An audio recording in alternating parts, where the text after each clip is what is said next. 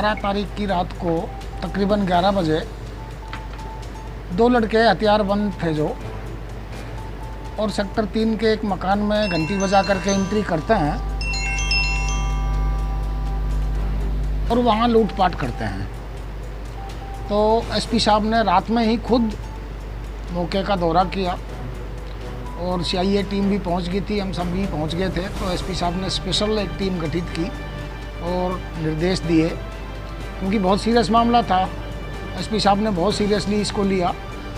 तो उसमें हमारी सीआईए की जो टीम है, उन्होंने दो लड़कों को आर्म्स एक्ट के तहत गिरफ़्तार किया था। तो एक लड़का वीरेंद्र सिंह है, जो गाँव मुंडनवास का है, और दूसरा उसका साथी है, जो वो बुलंदशहर का यूपी का रहने वाला लड़का है, राहुल नाम जिसका है।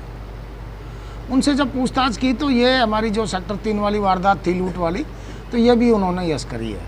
और भाई, हमने ये वारदात की थी। तो जिसमें ये पचास हज़ार रुपये लूट कर ले गए थे तो उसको हमने ट्रेस आउट कर दिया है। अभी रिमांड पे हैं वो दो दिन के। रिमांड के दौरान पूछताछ में नया कुछ को आएगा तो मैं आप लोगों को ज़रूर शेयर करूँगा। इनका वीरेंद्र है इसने दो चार दिन दूध दिया था इस घर में।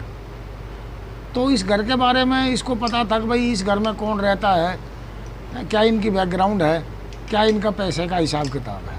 तो उसी चीज़ को टारगेट करके और स्पेशल टारगेट यही मकान किया गया था। तो दूध है? अभी तक इनका कोई रिकॉर्ड आया नहीं है पीछे का लेकिन हम मांग रहे हैं तो आ जाएगा जल्दी अगर हो। करते हैं ये दोनों?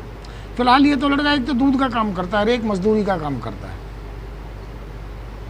दिन ही उन्होंने घर के सामने से दो तीन चक्कर काटे थे। परिवार के बाहर गए हुए थे तो तो लूटपाट की थी इनको अंदेशा था कि मोटा पैसा मिलेगा। नहीं परिवार के बारे में इनको पता नहीं था। अभी जो असला जो यूज़ हुआ है वो बरामद हो चुका है और अभी तो? अभी एक असला बरामद हुआ है। रकम रकम में से कुछ पैसे मिल गए हैं और कुछ के लिए आज रिमांड लेकर के वो जा रहे हैं हमारी टीम वाले तो वो शायद शाम तक कर लेंगे।